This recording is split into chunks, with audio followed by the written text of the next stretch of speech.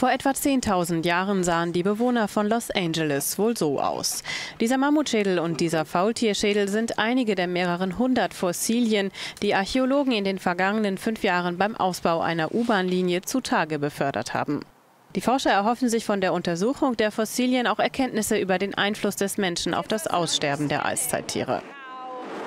Es hilft uns zu verstehen, inwiefern sich Ökosysteme, die Umwelt und die Tiere in Los Angeles in den vergangenen Tausenden von Jahren als Folge verschiedener Faktoren verändert haben, die für uns heute interessant sind, wie zum Beispiel Klimawandel.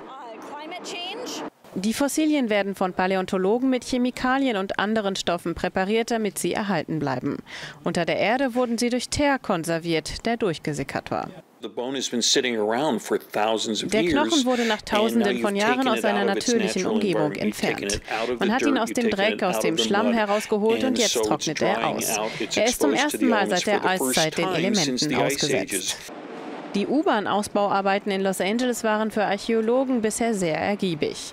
An mehr als 200 Stellen wurden sie fündig, vor allem im heutigen Zentrum der kalifornischen Metropole, das zur Eiszeit von Wiesen und Wäldern bedeckt war.